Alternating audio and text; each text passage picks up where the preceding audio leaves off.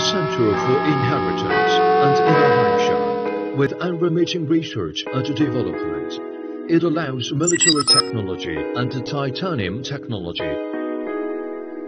Stir fried, boiled, fried, deep fried, roasted, hot pot, stewed, light pressure, tea brown, the choice of quality from the United Kingdom.